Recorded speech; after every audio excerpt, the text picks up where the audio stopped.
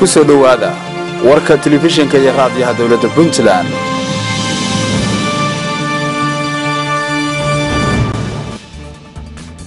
Kulanti wacan daawadayaal meel kastoo dunida ka joogtaan ku soo dhowaada qodobada ugu doorka roon warka dunida puntland t v.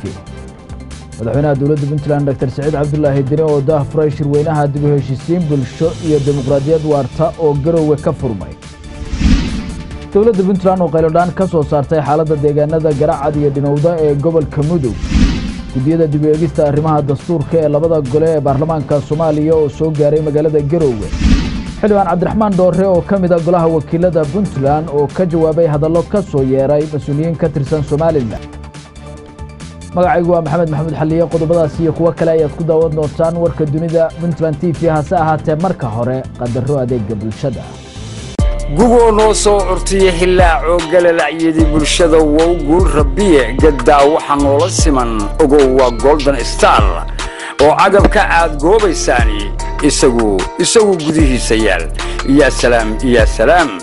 Golden moll waxa aad ka helaysaa moobeelada noocyadooda kala duwan sida iphone samsom galaxy khasaaladaha shaashadaha tv-ga qaboojiyayaasha taag iyo jiib golden moll qaybta subermarketka waxaad ka helaysaa shoobinka noocyadiisa kala duwan sida kareemada saliidaha tinta shoobooyinka golden moll waxa uu ku yaalaa magaalada boosaaso ka soo horjeedka hotel juba golden star moll qaybteeda labaad waxa ay ku taallaa magaalada gaalkacyo afaafka hore iskuulka yamayska wixii faahfaahinoo intaasi dheer golden star moll kala xiriir ciwaanada iyo taleefanada shaashada kaaga muuqa aan ku bilaabay qodobka ugu horreeya ee warkeena madaxweynaha dowladda puntland dr. Saciid cabdulaahi deni ayaa magaalada garowe ee caasimadda puntland waxa uu ka daafuray shirweyne ajandayaasha looga hadlayo ay yihiin dib u heshiisiinta bulshada iyo dimuqraadiyadda oo looga hadli doono labada maalmood ee soo socota shirweynahani ayaa waxaa soo qabanqaabiyey dad cilmi baarayaal iyo aqoon-yahano soomaaliyeed isugu jira kaasi oo muddada uu socdo si weyn loogu lafaguri doono labadaasi qodob ee kala ah dimuqraadiyeynta iyo dib u heshiisiinta bulshada soomaaliyeed. Madaxweynaha dowladda puntland saciid cabdulaahi deni ayaa ka qeyb galay shirkan oo looga hadlayo dib u heshiisiinta bulshada iyo ka shaqeynta dimuqraadiyad waarta oo ka hirgasha dalka oo idil gaar ahaan puntland wasaaradda arrimaha gudaha federaalka iyo dimuqraadiyiinta dowladda puntland ayaa soo qabanqaabisay shirkan. Waxaana saddexda maalmood ee uu soconayo diiradda lagu saari doonaa falanqeynta labada qodob ee kale ah dib u heshiisiinta dadka iyo dimuqraadiyeynta ra'iisul wasaarihii hore ee dowladdii kumeel gaarka ahayd ee soomaaliya cali maxamed geedi xubno wasiiro ah diblomaasiyiin iyo cilmi baarayaal mowduuca shirkan baaris ka sameeyey ayaa sidoo kale ka qeyb galay shirka madaxweynaha dowladda puntland oo furay madasha ayaa ammaanay hindisaha kulankan oo qeyb ka ah doodaha xagaaga ee looga hadlo arrimaha masiiriga u ah bulshada soomaaliyeed. madaxweynaha ayaa sheegay in asaaska dib u heshiisiinta soomaaliya ay saldhig u noqonayaan hay'adaha dastuuriga ah ee wadanka oo la dhiso midaasi oo uu sheegay inay tahay furaha kamiro dhalinta dadaalada dib u heshiisiineed ee socda. In la heshiiyo way fiican tahay laakiin inaan wakhti badan gelinno hay'adihii wixii lagu heshiiyey ilaalin lahaa. Dhinaca dhismaha hay'adaha dowladda waxaad moodaa in hadda lagu beddelayo workshoobyo sibinaaro wada hadal dad isu tegaya waa wax fiican. Laakiin waxaasoo dhan waa minis waa wasiilo lagu rabay in lagu gaarin wax lagu dhiso. Haddii marka aysan ka soo bixin qoraal uun ka soo baxo iyo hadallo oo aan loo dhaqaaqin wixii ka soo baxa inaan la fulin oo hay'adihii la dhisin waxay noqonaysaa mar walba square one maalin walba marka in lagu soo celceliyo. Waxaan dowladda puntland aan nahay haddaan mas'uulkeedahay magacooda ku ballan qaadayaa wixii ka soo baxa doodan ee nagu aadan inaan fulin doono haddii ilahay marka waxaan qabnaa maanta oad halka u wada joogtaan oan filayo soomaali degaan kasta in laga joogo inaad gundhig ka dhigtaan. Waxyaabaha hal ka soo noqda inaydan cilmi baarin keliya oo idinka doodine ku ilaalisaan. Mas'uuliyiinta soomaaliyeed waxa ugu yar oo aad samayn kartaan waxa weeye inaad ummadda u bayaanisaan wixii aad soo saarteen iyo cidda aan fulin wax weyn bay taraysaa madaxweynaha ayaa sheegay in dowladda puntland ay soo dhaweyneyso guud ahaan wadahadalada quseeya masiirka bulshada soomaaliyeed gaar ahaan doodaha la xidhiidha maqaamka caasimada dalka ee muqdisho wadahadalada somalilan iyo soomaaliya iyo muranada xuduudeed ee u dhexeeya puntland iyo somalilan oo madaxweynuhu sheegay inay wajahidooda diyaar u yihiin. Runtii sharaf weyn bay dowladda puntland u tahay inay kulamada noocaan oo kaleeta ay martigeliso waxaana ku baaqaynaa kulamada geedi socodka soomaaliya loogu hadlayo inay puntland aada u soo dhoweyso. Waxaan jeclaan lahaa inaan halka maanta ka sheego inay puntland diyaar u tahay inay martigeliso qodobada aadka looga doodo oo mar walba soo noqnoqda oo la yidhaahdo maqaamka muqdisho in garowa looga hadlaan soo dhaweynayna muqdisho waa magaalo madaxii soomaaliya waa magaalada astaanta waa qaranka soomaaliyeed maqaamkeedu inuu dood aan dhammaanayn ku jiro aad bay noo dhibaysa xaqiiqa marka waxaan jeclaan lahayn dood furan oon cidcidi ka sheeganayn soomaalida iyoo miyir qabta intay isugu timaado weliba muqdisho laga soo fogeeyo. Ilaa ninkii dooda weyn qabay haddii la gurigiisa loogu tago. Cali maxamed geedi iyo halka joogaan waxaa dhici karta. Haddii dhaqanka waxay noqonaysaa inaan laga caraysin inaad maarata gurigiisa ugu tagto. Marka waxaan leeyahay in meel ka soo fog oo laysugu yimaado oo si fiican loo doodo qodobkaas waa qodobada ugu xasaasisan inta aan ka warqabo. Waxaan kaloo ii muuqanaysa runtii si laa furan in loo wada hadlo. Waxaa iyadana wehele ku soo ku soo dhaweynaya halka. Arrinta soomaaliya iyo somalilan iyadana waa caqabad kale oo hortaagan dastuurka aniga saa u dhigi maayo soomaaliya iyo somalilan wax la yidhaahdo sida hadda entitiga uu jiro. Laakiin waxaan qabaa walaalaheen gobollada waqooyi jira ama maamulka somalilan inaan iyagana garowa yimaadaan oo dooda ka qayb galaan oo doodaha ay qabaan ay soo dhaweystaan. Inaan doodeenna dhiibanno oo dadka la hadalno kama baqayno. Dadka reer puntland waxaan ku boorinayaa inay wada hadal ka baqin. Hadday xujo fiican haystaan wey haddii kale waxaan u muuqanaynaa dad aan xujo dowladda puntland aasaaskeeda iyo marxaladii loo maray iyo dadka aasaasta iyo xuduudaheedu wax mugdi oo ku jira maaha waa cadi. Ugu dambeyn madaxweyne deni ayaa hoosta ka xariiqay in xukuumaddiisu ay dadaal xoogan ku bixin doonto hirgelinta hanaanka dimuqraadiga ah ee puntland. Midaasi oo uu sheegay in isaga iyo xukuumaddiisaba hirgelintiisu ay ka go-an tahay. Waxaan aniga qirayaa degaanada puntland in nabad laysku hadlayn karo iyo isku caloolfiyoobaan ay ka jiraan oo ay sahlan tahay in laga fuliyo in dadku istoorto. Waa xaqiiqataas. Ficilkeeda dowladda puntland intii karaankeeda ah way jeceshahay inay arrintaa ka shaqayso waana iga go-an tahay xaqiiqatan shakhsiyan ismana lihi. Sida dad badan u fakeraan dimuqraadiyad intaa ka shaqaysa baa cid ku khasaaraysa jirtaa. Doodaha xagaaga ee shirkani qaybta ka yahay ayaa ah kulamo sanadkiiba mar lagu lafaguro arrimaha muhiimka u ah bulshada soomaaliyeed waxaana la rajaynayaa inay dhaqan galaan qodobada ka soo baxaya. Maxamed maxamuud xaliye puntland t v garowe madaxweynaha dowladda puntland doctor siciid cabdulaahi deni ayaa magaalada garowe waxa uu ku soo dhoweeyey gudiyada dib u egista dastuurka ee baarlamaanka federaalka ee soomaaliya ee aqalka sare iyo aqalka hoose iyo xubno kale oo xildhibaano ah oo ka socday dowlad goboleedyada soomaaliya waxaana ay madaxweynaha ka wada hadleen halka ay marayaan howlaha dib u egista dastuurka oo shaqo ay ku socoto amaba ay socdaan dadaallo dib loogu eegayo. Xildhibaan burhaan aadan cumar oo ka mid ah xildhibaanada aqalka hoose ee baarlamaanka federaalk ee soomaaliya ayaa ka warbixiyey kulanka ay yeesheen madaxweynaha iyo gudiyada aqalka hoose iyo aqalka sare ee dib egista dastuurka iyo weliba xubnaha ka socday dowlad goboleedyada gaar ahaan ee baarlamaanada dowlad goboleedyada. Bismillahi raxmaan raxiim aad waa mahadsantihiin. Maantay wafdi ballaaran oo ka yimid dowladda federaalka soomaaliya iyo dowladaha xubnaha federaalka soomaaliya guddiyada dastuurka iyo guddoonada baarlamaanada dowladda federaalka dowlad goboleedyada. Baa soo gaaray magaalada garowe oo si ballaaran oo wanaagsan oo qurux badan loogu soo dhoweeyey.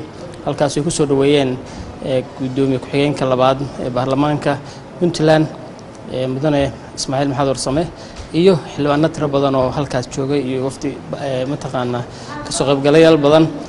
Sidoo kale maanta isla maantay waxaa soo dhoweyn u sameeyey kulan soo dhoweyn ah madaxweynaha puntland dowladda puntland mudane saciid cabdulaahi deni halkaas oo la isku dhaafsaday barnaamijyo badan iyo dardaaran iyo siba shirkan wuxuu ku saabsan yahay iyo dardaarankiisa iyo talooyinkiisa. Halkaasoo shirku uu ahaa shir aad u qurux badan oo runtii soo dhoweyn iyo bogaadin ku saabsan. Halkaasuu guddoomiyaha guddiga la socodka mudane senator cabdixasan maal qaybdid uu guddoonsiiyey madaxweynaha shan iyo tobankii cutub ee ka soo shaqeeyeen guddiga madaxa bannaan iyo guddiga la socodka madaxweynaha u gudbiyeen. Shirkan wuxuu ku saabsan yahay waa shirka afaraad oo biri furmi doona haddii la haydmo wuxuuna ku saabsan yahay waa kulanka madasha guddiyada dastuurka heer federaal heer dowlad goboleed. Wayna ka kooban labada guddi guddiga la socodka iyo guddiga madaxa bannaan oo ay kala yihiin oo ay kala hogaaminayeen gudoomiye senator cabdixasan al ahna guddiga guddoomiyaha madasha guddiyada dastuurka. Sidoo kale guddoomiye ku-xigeenka guddiga madaxa bannaan marowo muumino iyaduna ay hogaaminaysay wafdiga qayb ka mid mataqaana guddiga madasha guddiyada dastuurka. Waxaan ku rajo weyn haddii ilaahna berito halkan shirka waxaana sidoo kale ka soo qaybgalay guddoomiye ku-xigeenka koowaad ee baarlamaanka jubbaland. Sidoo kale waxaa ka soo qaybgalay guddoomiye ku-xigeenka labaad ee baarlamaanka koonfur galbeed. Sidoo kale guddiyada dastuurada dowlad goboleedyada oo dhan oo ka soo qaybgaleen iyo guddiga dastuurka heer federaal iyo guddiga madaxa bannaan marka insha allah waxaa berito shir ku furmi doonaa wuxuuna ku saabsanaan doonaa haddii la haydmo shan iyo tobankii cutub shantii cutub u dambeysay in lagu soo bandhigay. Halkaas oo guddiyada labada guddi ay u soo bandhigaan guddiyada dastuurada ee heer dowlad goboleed waxaa laga soo qabtay. Halkaasoo aan rajayn doono insha allah markuu shan iyo tobankii cutub ee dastuurku ku soo idlaaday shaqadiisu aan kadibna uu gudbin doono haddii lama la tashiyo mataqaanaa dadweynaha iyo baarlamaanada iyo xukuumadaha haddii la insha allah dowladda puntland waxa ay kheyladhaan ka soo saartay deegaanada garacad iyo dhinowda oo ka tirsan gobolka mudug kuwaasi oo uu saameyn ku yeeshay bacaad ay keentay amaba uu keenay isbeddelka cimiladu. Faahfaahinta warkaasi waxaa inoo diyaariyey waryaheena asad siciidaad magaalada garowe waxaa kulan ku yeeshay wasiirada wasaaradaha deegaanka howlaha guud kalluumaysiga iyo hay'adda waddooyinka puntland. Waxaana mas'uuliyiintan ay ka hadleen xaalad deg deg ah oo u baahan in wax laga qabto taasoo la soo gudboonaatay deegaanka jariiban dagaxad iyo dhinowda ee gobolka mudug kadib markii bacaad uu xiray waddada xiriirisa dhinowda garacad iyo jariiban taasoo ay keentay isbeddelka cimilada adduunka. Mas'uuliyiinta ay arrintan khusayso shir jiraad ku qabtay garowe waxa ay sheegeen in bacaadka gooyey waddada uu khatar ku yahay mashaariic ballaaran oo deegaanka ka socota. Dowladda puntland waxay shacabka ugu baaqday in si wada jir ah wax looga qabto arrimaha isbeddelka cimilada. Shacabkuna ay dowladda garab ku siiyaan arrintaas. Wasiirada wasaaradaha deegaanka howlaha guud iyo kalluumaysiga iyo hay'adda waddooyinka puntland waxa ay sheegeen arrintan wax lagaga qaban doono si deg deg ah.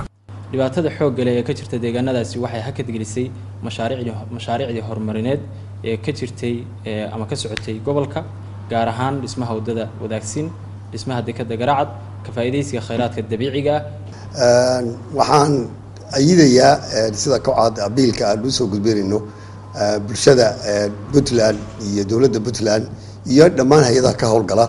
Bacaadkaas oo runtii sida uu ka muuqata media releaska aanu dhiibnay dhibaato weyn ku haya deegaankaas loo sheegay. Meesha oo ka soo abuurmayo oo la taxo oo dhowr layn oo isdaba jooga si markuu mid ka kala hakiyo loo gudbiyo taas weeye operationka aan u baahannahay inaan wasaarad ahaan kala kaashano hay'adaha si loo qaban lahaa.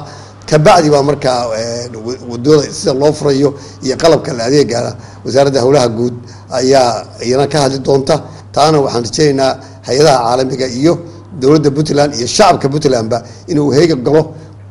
Qayladhaantaa ka timi gobolka mudug gaar ahaan degmada jariiban iyo garacad xaaladeeda muddadan waxaa lagu hayay indhaha waxaa tegay hay'adda b h a iyo wasaaradda dekedaha.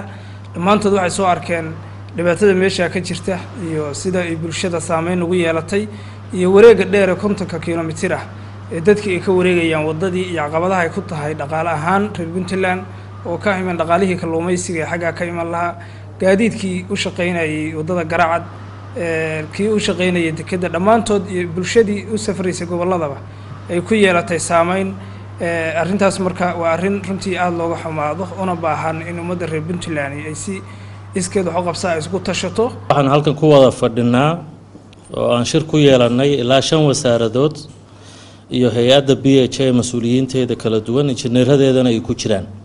Arrinta waxay caddaynaysaa xiriirka wada shaqeyn ee ka dhexeysa wasaaradaha dowladda puntland. Sababtoo ah shaqooyinkii waxay qaabeynayaan oo ka turjumayaan nolosha dadkeennii nolosha siday isugu xiran tahay oo u kala maarmin ayay wasaaraduhuna isugu xiran yihiin. Arrintan isbeddelka cimilada khatarteeda hadda waa arrin caalamiyo adduunkii oo dhan uu ka cabanayo. Waxaan si gaara u xusayaa in xeebihii maanta baddeenna ay soo kacayaan kor u kacayso deegaano badan oo xeebana ay saameysay arrinta hadda caluulo ka dhacday oo wasaaradda iyo wasaaradda howlaha guud iyo arrimaha gudaha iyo kulli takada ay ka wada shaqaynayeen wasiirkana guddiga aan ku wada jirnay waxa keenay inuu qoorigii magaalada ku fataho waa bacaad baa xiray afkii uu badda kaga noqon jiray. Dabaylihii baa sii siyaaday ciiddii bay uruurinayaanoo bacaad badan bay samaynayaan baddii baa kor u kacaysa sababta marka qayladhaanta loo dirayo abiilka loo dirayo waxa weeye waxaan annaga keliya ku filannahay maaha isbeddelka cimilada arrimahan sida naturalku dabiiciga u dhaca waa wax u baahan iskaashi caalamiya oo maanta caalamkii oo dhan uu ka wada hadlayo. Heesta kalena wasiirka wasaaradda deegaanka isbeddelka cimilada iyo beeraha puntland ismaaciil diirya gamaadiid ayaa sheegay in ayax geediya uu ku habsaday deegaanka calmadow dowladduna ay kooxo ka howlgeli doono deegaankaasi u diyaarisay in uu buuraha calka iyo aagga sanaaga ilaa bari uu ayax fadhiyo. Kaana aanu ku mashquulsannahay ayaxaasi loola dagaalami lahaa. Haddana aan u dirayno missions tegaya sidii loo kicin lahaa ayaxa. Dad loo tababaray oo lagu howlgeliyo arrintaasuna waa arrin iyana culeys kule inugu haysa beerihii iyo daaqii. Labada arrimoodba bulshadu inay u diyaargaroodo sidii wax looga qaban lahaa. Asad siciidaad puntland t v garow madaxweynaha maamulka koonfur galbeed soomaaliya ayaa waxa uu ka qayb galay munaasabad lagu sagootinayay taliyaha cusub ee ciidanka asluubta soomaaliyeed oo horey u ahaan jiray taliyaha ciidamada booliiska gobolka baay. Faahfaahinta warkaasi waxaa inoo soo diray wariyaheena xasan kulmiye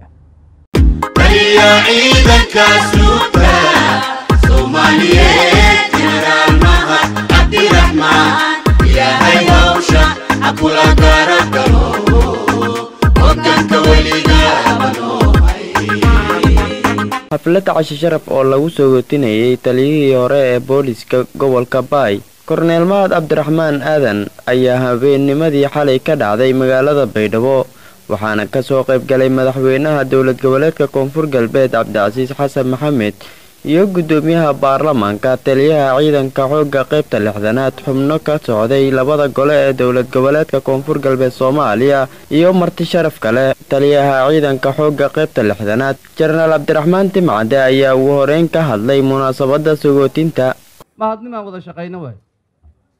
Anaad waxaan u malaynayaa muddo siddeed bilood ah ayaan taliyaha qaybta ahay.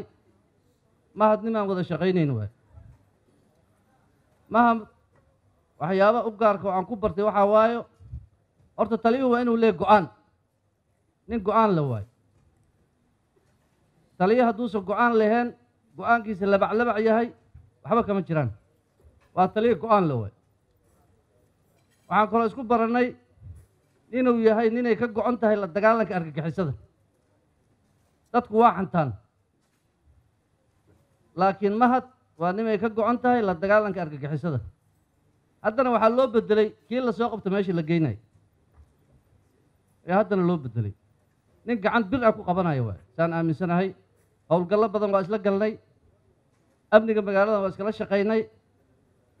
Magaaladan hadda booliiska qaabka uu degan yahay rugaha uu u sameeyey mahad nabadgelyo fiican oo taama ka jirto. Korneel mahad cabdiraxmaan aadan taliyaha ciidanka asluubta soomaaliyeed ayaa dhankiisa u mahad celiyey cashi sharafta loo sameeyey sida ay ugu garab taaganaayeen mas'uuliyiinta dowlad goboleedka koonfur galbeed soomaaliya. Aad baa u mahadsan tihiin ciddii xafladdan ii samaysayna aakhiriya adduunba ilaahay khayr ha ku siiyo waana ku ammaanayaa waana ugu mahadnaqaya.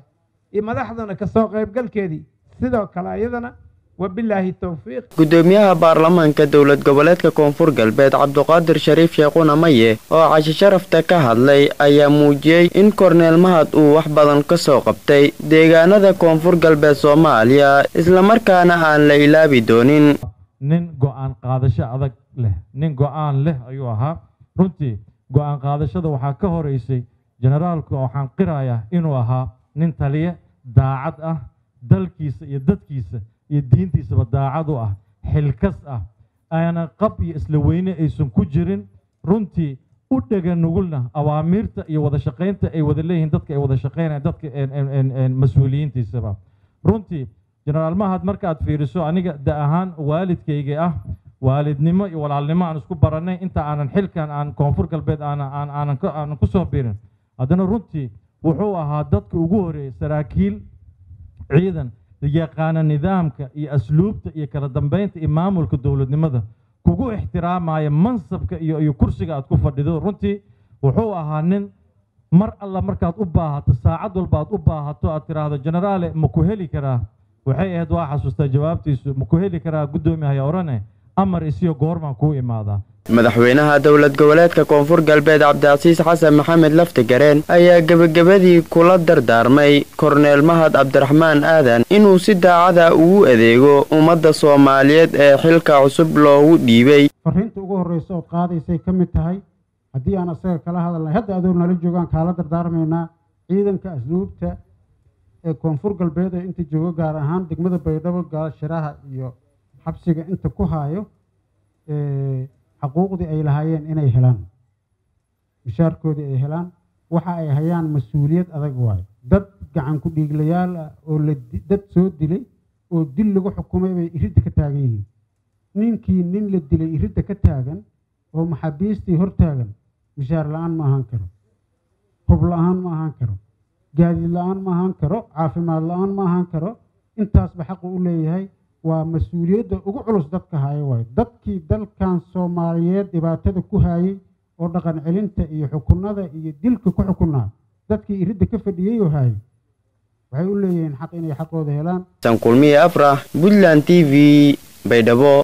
Wasaaradda haweenka puntland ayaa degmada xarfo ee gobolka mudug waxa ay ku qabatay kulan looga hadlay sidii gabdhuhu ay uga qeybgeli lahaayeen golaha deegaanka degmadaasi faafahinta warkaasi waxaa inoo soo diray wariyaheena burhaan maxamed cabdi kulan wacyigelin ah oo ay soo qabanqaabisay wasaaradda horumarinta haweenka iyo arrimaha qoyska ee dowladda puntland ayaa lagu qabtay degmada xarfo kulankaani oo ujeedadiisu ahayd in lagu dhiirigeliyo gabdhaha u sharaxan golaha deegaanka ee degmada xarfo ayaa waxaa ka soo qaybgalay nabadoonno waxgarad iyo aqoon-yahano kala duwan. Waxaana kulankaasi wacyigelinta agaasimaha waaxda jinsiga ee wasaaradda horumarinta haweenka iyo arrimaha qoyska ee dowladda puntland luul jaamac nuur. Aniga haddaan iskiin baro magacayga waxaa la dhahaa luul jaamac nuur waxaan agaasinka jinsiga iyo xuquuqul insaanka wasaaradda horumarinta haweenka iyo arrimaha qoyska dowladda puntland. Waxaan idiin nimid doraad shalay iyo maantana waa idinla joognay. Ujeedada u ballaaranaan meeshaan u soo marnay waxay ahayd golayaashii degaanka ayaa dhismahooda uu dhow yahay. Dowladda puntlandna wasaaradda arrimaha haweenku waxay mas'uuliyad uga tahay arrimaha haweenka iyo wixii carruur ah ayay dowladda puntland iyadu mas'uuliyad uga tahay. Degmada xarfa ujeedada ugu ballaaran aan u nimid waxay ahayd inaan ugu horeyn aan horta aragno gabdhihii u taagnaa oo isu soo taagay inay ka mid noqdaan golayaasha deegaanka. Gabdhihii shalaan is aragnay waa iswareysanay waana isfahanay shirkan maanta ujeedadaan u qabanay oon waxgaradka iyo culimada iyo isimada degmada xarfa aan ugu qabanay waxay tahay saan ognahayba isimada ayaa qaybiya xubnaha golayaasha deegaanka. Qabaa-ilka hadeer leh xubnaha. Marka maanta waxaan idinkugu yeernay ka wasaarad ahaan inaan idiin sheegno ama aada nala qaadataan ama aan idinkaba codsanaba in gabdhihii ay ka mid noqdaan golayaasha deegaanka ee degmada xarfo. Kulankaasi ayaa waxaa sidoo kale ka hadlay gabdhaha u sharaxan xubinimada golaha deegaanka ee degmada xarfo. Waxaan uga mahad celinaynaa wasaaradda arrimaha haweenka doorka ay ka qaadatay. Dhiirigelinta ay haweenka ku sameynayso iyo la tashiga ee odayaasha iyo nabadoonada iyo codsiyada ay u gudbisay. Aad baan uga mahad celinaynaa marka koowaad. Marka labaad waxaan soo dhaweynayaa anigoo ah qof dumar ah haddana ah dhallinyarada degmada xarfo gabdhaha u sharaxan golaha deegaanka. Doonayaan inay ka mid noqdaan. Aad baan uga mahad celinayaa waxaana ku taageersanahay in la helo xubno muhiim ah oo dumar ah. Waxaa farxad weyn oo ah inaanu haysano haween ku dhiiranaya inay wax ka noqdaan golaha deegaanka. Runtiina aada ugu tababaran. Aanan rajaynayno hadday helaan xilalkaas inay wax badan ka bedeli doonaan.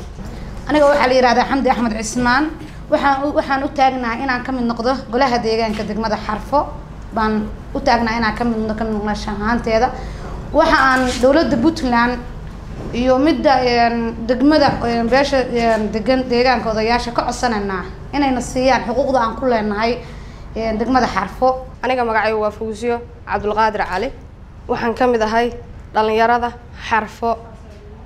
Waxaan kaloo ka mid ahay musharaxiinta sanadkan u taagan golaha deegaanka. Waxaan ku baraarugsanahay dhammaantayo annagoo isku duuban in aan degmadan xarfo ama bulshadayada xarfo haddii aan nahay haweenka waxaan aaminsannahay inaanu ku dulmannahay. Sabab waxa weeye meel kasta oo ay bulsha joogto waxa ka dhisan ama jooga majoritigu waa haween. Xaqiiqda markaan ka hadalno raggu waa raggayagii laakiin xaq badan oo ay lahaayeen ama ay dumarku lahaayeen baa waxa weeye maanta waxay saaran tahay cadaadis badan saaran yahay waxaan rajaynayaa haddii inaan qeybna siin inaad saddex meelooda meelna siisaan taasoo ah waxaan aaminsanahay haweenku inay leeyihiin xuquuq gaara afar iyo labatanka sano waxaan u doonnaa xuquuqda dumarka.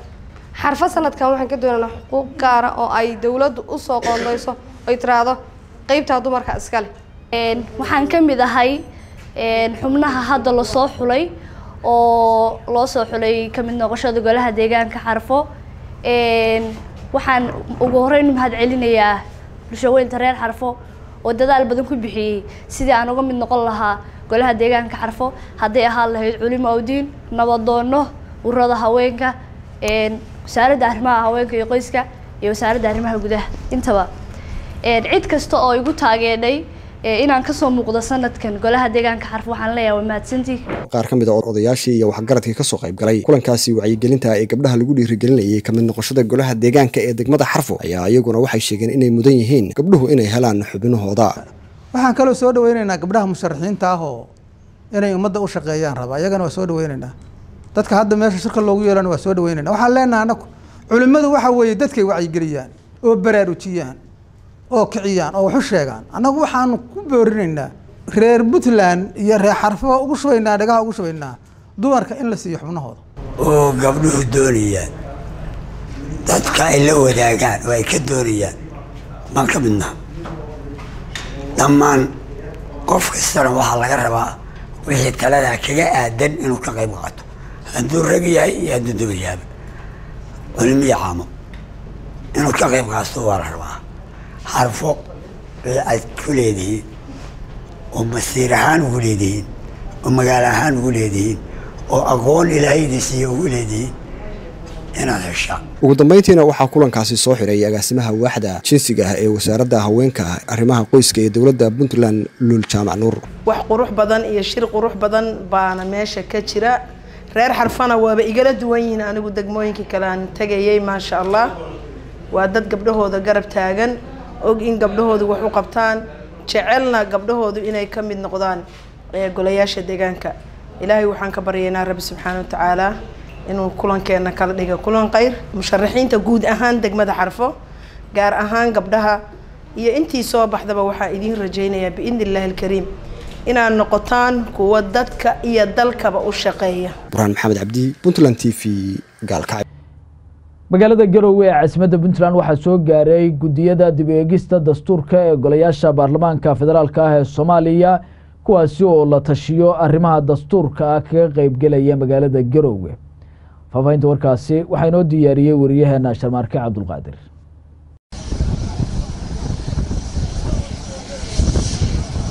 mudanayaal ka tirsan golaha wakiilada dowladda puntland ayaa garoonka diyaaradaha ee jenaraal maxamed abshir garowe ku soo dhoweeyey gudiyada dib u eegista dastuurka baarlamaanka labada aqal ee soomaaliya xubno ka socda guddiga madaxa bannaan ee dib u eegista dastuurka soomaaliya iyo xubno ka socda dowladaha xubnaha ka ah dowladda dhexe kuwaasoo garowe kaga qaybgeli doona shir looga hadlayo arrimaha dastuurka soomaaliya gudoomiye ku-xigeenka labaad ee golaha wakiilada dowladda puntland ismaaciil maxamed warsame ayaa gudiyadan ku soo dhoweeyey garowe wuxuuna sheegay inay ka qaybgeli doonaan shirka afraad ee madasha dib u eegista dastuurka soomaaliya oo garowe ka dhici doona. Waxaa sharaf weyn noo ah anoo ku wakiila gudoomiyaha golaha wakiilada iyo dhammaan golaha wakiilada puntland inaanu maanta ku soo dhoweyno wafdi ballaadhan oo ka socda dowladda gudiyada dastuurka heer federaal iyo heer dowlad goboleed. Heerka federaalka waxaa hogaaminaya senator cabdi xasan cawaale qaybdiid waa gudoomiyaha guddiga dib u eegista dastuurka iyo gudoomiye ku-xigeenka guddiga madaxa bannaan ee dib u eegista dastuurka marwo muumina iyo wufuud ka socota maamul goboleedada galmudug iyo hirshabeelle. Waxaa kaloo jiri doona jubbaland guddigii dib u eegista dastuurka iyo south west ama koonfur galbeed oo iyaguna insha allahu imaanaya nagu soo biiraya waxay wufuuddan ujeedka ay u yimaadeen safarkoodu yahay inan ay ka qayb galaan shirkii afraad ee madasha dib u eegista dastuurka oo guddigan heer federaal iyo maaragtay ay ka soo shaqeeyeen shan iyo toban cutub oo dastuurka ah. Aad iyo aad baan ugu faraxsannahay inaan idku soo dhoweyno waxaad timaadeen waxaad ka timaadeen dalkiinnii waxaad timaadeen dalkiinnii kale laba dal ma kala nihin.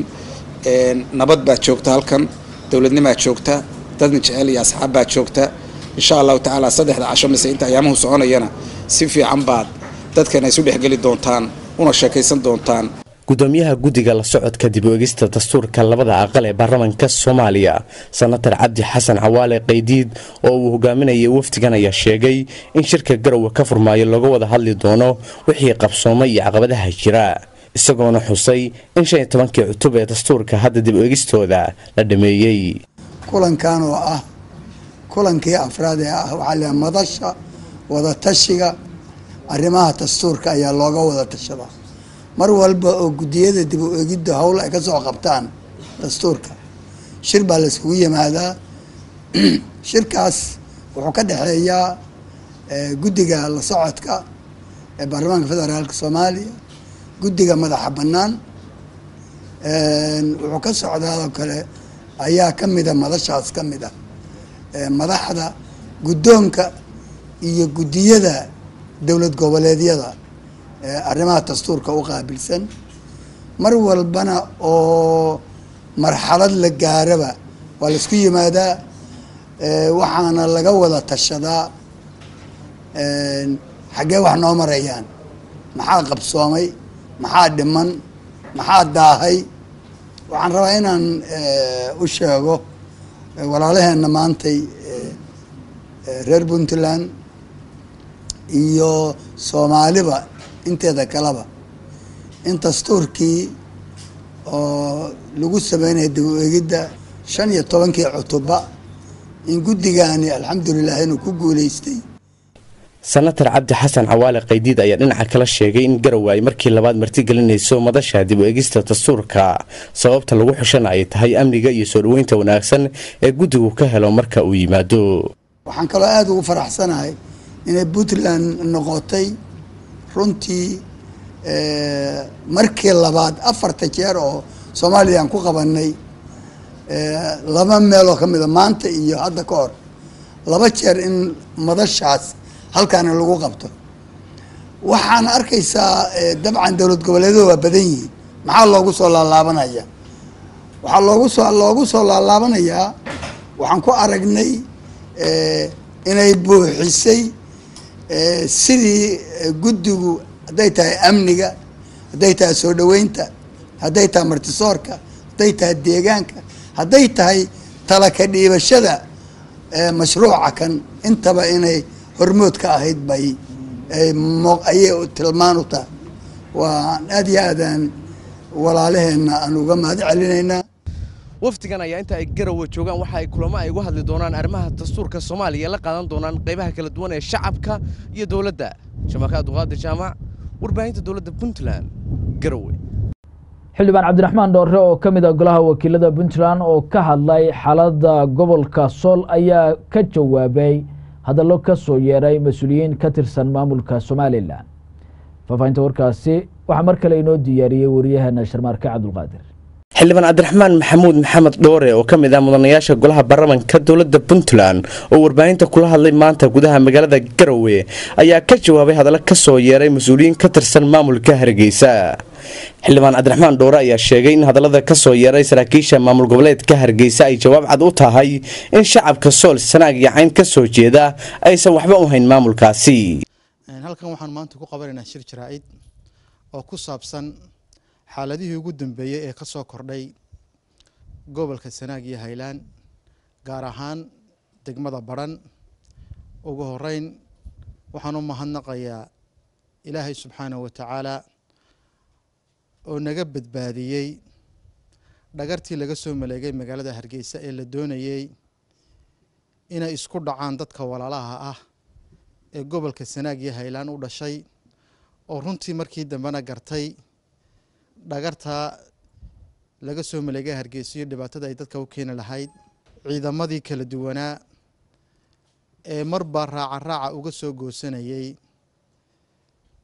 awaamirtii khaldaneed ee uu soo siinayey ninka nuux taani la yidhaahdo oo ku caanbaxay inuu dadka dhiigooda uu ku qadeeyo ama uu nolol maalmeedkiisa ku raadsado dhagartaasoo uu doonayay in gobolkaasi layskaga dhaco. Aad baan ciidamada ugu mahadnaqayaa sidii ay u garteen in aanay dadkooda iyo dalkooda iyo dadkooda ay ugu turheen oo aanay qaadanin fikirkii khaldanaa. Waxaan maanta maqlaya oon arkayay nin la yidhahdo nuux taani oo berigii hore maxamed siyaad bare allah u u qaabilsanaa cunto karinta oo iminka sheeganaya inuu yahay janan oo le waxbaan ciidamo haystaa. Qaran iyo wax ku sheegaya qaran maaha waa ciidamo qabyaaladeed uu horkacayo oo maanta le ciidamadii muddada faraha badan leh uu adeegsanayay maanta yidhi waxba namay tari jirine. Sidii i d b yada waxay ahayn dad ceyr qaata oo meel iska fadhiya horta been baad sheegtay ciidamadana waad ku gaftay waanad ku abaalkoodiina maad garanin. Ciidamadaas waa ciidamadii kala ilaalin jiray.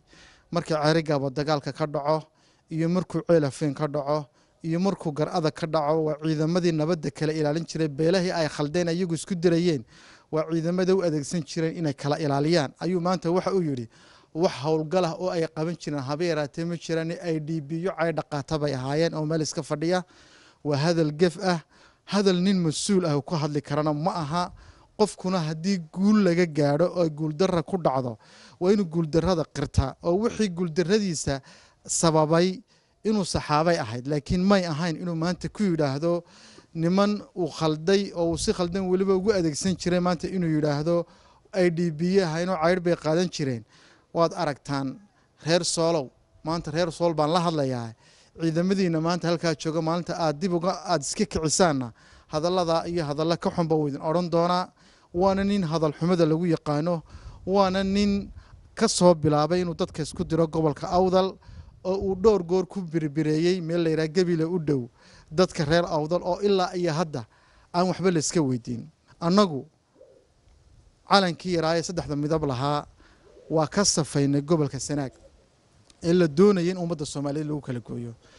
Maanta calan ka baban maayo dhagartaadiina alxamdulilah annagoo ah wasiirada iyo xildhibaanadoo iskaashanayna oo guurtida gobolka iyo jaaliyadda dibadda iyo saraakiisheedaba la kaashanay waxaanu iska garannay in aanaan isdilin oo uu foostada uu ka soo xawilay ee dhagarta ah uu ka keenay hargeysa waanu iska fahanay in aanay nagu dhex qarxin waanaanu iska qabannay.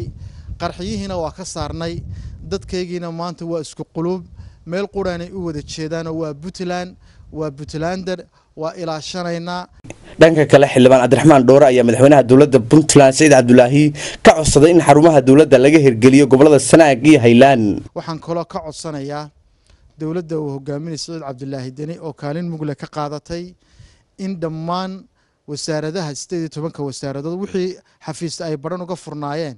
Aad baan wasaaradaha ugu hambalyeynayna wasaaradaha hadhay waxaanu doonaynaa in ay ka furtaan xafiisyadoodii maanta degmada baran iyo inta ku hareereysan iyo gobolka oo dhamiba gacanta puntland bay ku jiraan. Waxaan rabnaa in ay xafiisyadii ka furtaan wasaaradaha aan ka furanin. Waxaan kaloo halkan baaq uga dirayaa jaaliyadda dibadda oon leeyahay gobolkii iyo dadkii nabad weeye. Waa puntland waxaan u baahannahay inaad maal gashataan nabadda kala shaqaysaan horumarka kala shaqaysaan gacmaha isqabsataan maanta meel baa loo wada jeedaa. Shamaaka cabduqaadir jaamac warbaahinta dowladda puntland garowe. Magaalada boosaasana ururka warbaahinta puntland ee maab ayaa labaatan weriye tababar uga furay magaaladaasi kaasi oo lagu baranayo ilaalinta xuquuqda aadanaha faahfaahinta warkaasi waxaa boosaaso ka soo diray wariyaheena cabdirasaaq cabdallah. Tababarkan oo socon doona muddo saddex cashaa islamarkaana loo qabanayo in ka badan labaatan suxufi oo ka howlgala magaalada boosaaso ayaa waxaa si wada jira iskaga kaashanaya ururka warbaahinta puntland ee maab iyo xafiiska difaaca xuquuqul aadanaha puntland. Ujeedka tababarkan ayaa sidii suxufiyiinta ay u baran lahaayeen sharciga looguna wacyigelin lahaa arrimaha xuquuqul insaanka daafurka tababarkan waxaa ka qayb galay xeraalyaha guud ee dowladda puntland xildhibaan ka socday golaha wakiilada gudoomiyaha xafiiska difaacaha xuquuqul aadanaha puntland iyo agaasimaha waaxda diiwaangelinta ururka warbaahinta puntland ee maaba ugu horeyn furitaanka tababarka waxaa ka hadlay gudoomiyaha xafiiska difaacaha xuquuqul aadanaha puntland maxamed yuusuf cali waxaana uu sharaxaad ka bixiyey ujeedka loo qabanayo tababarkan la siinayo suxufiyiinta ujeedada tababarkan waxaa ka mid ah in saxaafaddu ay helaan ama suxufiyiintu ay helaan macluumaad siinaya kordhinta aqoontooda. Number one aqoontaada maalin kasta oo noloshaada ka mid ah kordhin bay u baahan tahay. Waxaan u malaynaa meesha hadda kulley xeelaalyaha noogu weyn. Maalin kastana shalay markaan isla socona buug buu akhrinaya qofku noloshiisa alcilmu min maxaa weeye min almahdi ila laxdu wey soo ma? Maalin kasta aqoontu macluumaadku waa kuu kordhayaan maalintuu gu kuu kordha waa ina garasho kuu kordhaa. In xirfadaha saxaafadda la xoojiyo habdhaqan bulshadu aqbasho la abuuro waad ogtihiin saxaafadda waa laga yaaba mar qaybtood inaa cabataan idinkuna laydinka cabanahayo habdhaqankaas in la abuuro. Saxaafadda oo lagu tababaro xeerarka dalka iyo kuwa caalamka ee xuquuqda aadanaha. In la abuuro jawi wada shaqayn ee udhexeeya saxaafadda iyo bulshada u shaqaynayso iyadoo mid kasta la fahansiinayo doorka uu ku leeyahay nabadda iyo ammaanka. Ogtiin wax badan waxaa laga hadlaa doorka ku leedihiin nabadda. Marka qaybtood waxaa suxufiyiintu waxbay kiciyaan marna waxbay dejiyaan. Labadaba midna lama rabo. Inaa wax dejisaana laydinka rabo inaa wax kicisaana laydinkaba rabo. In saxaafadda la dareensiiyo waajibaadka ka saaran dhowrista iyo horumarinta xuquuqda aadanaha gaar ahaan xuquuqda bulshada haweenka iyo carruurta. Marka aad wax ka warinaysaan agaasimaha waaxda diiwaangelinta ururka warbaahinta puntland ee maab maxamed xirsi jabra oo ka hadlay tababarka ayaa sheegay in tababarkan uu muhiim u yahay wariyaasha ka howlgala magaalada boosaaso ka urur ahaanna ay ku faraxsan yihiin qabsoomidiisa. Ururka warbaahinta puntland ee maab oo aan magaciisa ku hadlayo waxaa sharaf weyn maanta u ah in tababar halkan looga daafuro kaasoo ay iska kaashanayaan xafiiska difaaca xuquuqda aadanaha ee puntland iyo ururka warbaahinta puntland ee maab tababarkan oo ah wacyigelin xuquuqda aadanaha la xiriirta dhammaanteenba waxa uu inoo yahay mid muhiim ah. Waxaana rajaynayaa haddii alla idmo siduu qorshuhu yahay tababarkan wariye ayuu xafiisku difaaca xuquuqda aadanaha ee puntland. Uu warbaahinta puntland iyo maaba uu mataqaanaa siin doonaa haddii alla idmo. Magaalooyinka lagu qaban doonana waa boosaaso oo maanta aynu joogno garoowe gaalkacyo iyo sidoo kale magaalada qardho waxaan rajaynayaa saaxiibadayda aan halkan u soo xulannay in tababarkan ay qayb ka noqdaan in ay weelayaan aqoonta halkan ay ka faa'iidaan islamarkaana ay ku dabaqaan shaqadooda. Xeraalyaha maxamuud xasan xeraalyaha guud ee dowladda puntland iyo xildhibaan maxamed cabdi xaraf oo ka mid ah xildhibaanada golaha wakiilada puntland kana tirsan guddiga xuquuqul insaanka baarlamaanka ayaa suxufiyiinta qaadanaya tababarkan waxay kula dardaarmeen inay ka faa'iidaystaan aqoonta uu xabaarsan yahay waxaana ay sidoo kale sheegeen in tababarkan uu qayb ka yahay sharciga iyo xuquuqul insaanka. Wix allaaliya wixii tabashaa oo saxaafaddu ay leedahay waxaan diyaar u nahay inaan u qareenno ilaalinana gaar ahaan guddigayga xuquuqda insaanka ee baarlamaanka puntland iyo guud ahaanba baarlamaankaba waxaan rajaynaya inaan wada shaqayn doono ilaah iidankiis intaan halkan joogna shaqooyin badan baan qaban doonaa insha allah. Dhul badanna waa mari doonaa. Saxaafaddu waxayna leeyihiin mataano. Maxaa yeele wax kastoo la qabanaya dhaliilii xumaan. Markii la soo gudbiya ayaa maaragtay wixii wanaagsanna laga abaalcelin karaa. Wixii khaldanna ummaddu dhiigi kadhaa waxaan sidaasaa loo khalday sidaasaa loo soxo saxaafadda waxa la yidhaahdo waxay leedahay oo loo sameeyey xeer waxaa ummad kale hagana waxa weeye waxay dhigatay oo lagu heshiiyey inay qolo walba dhinaca inta ay ku leedahay ay ka qaadato. Waagii hore waxba ma jirin laakiin hadda saxaafaddu waxay leedahay xeer hoosaad. Inta xeer hoosaadka la sameeyeyna waxaa moodaa wax badan in lagu kala badbaaday. Wax walba xuduud bay leeyihiin. Xorriyaddu waxay leedahay xuduud xuduud hadday dhaafto xuduud waxay gelaysaa meel qof kale xuduuddiisay gelaysaa.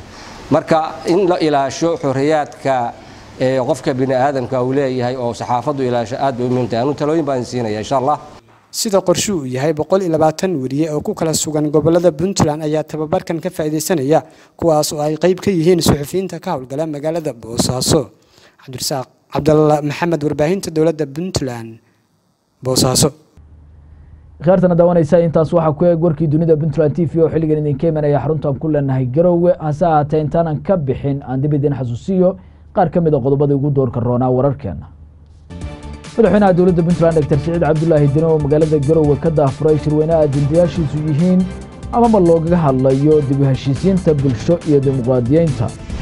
Dowladda puntland oo qayladaan ka soo saartay xaaladda deegaanada garacad iyo dhinowda ee gobolka mudug oo bacaad isbeddelka cimiladu uu sababay uu saamayn ku yeeshay guddiyada dib u eegista arrimaha dastuurka ee labada gole ee baarlamaanka federaalk ee soomaaliyana waxa ay soo gaareen magaalada garowe. Kaartana daawanaysaa warkii dunida guud ahaan waa naga intaa waxaan idinla socodsiinaya anigoo ah maxamed maxamuud xaliye. Dhinaca farsamaduna waa susaan kan mid ka xiga intaynu ku kulmayno. Nabaddiin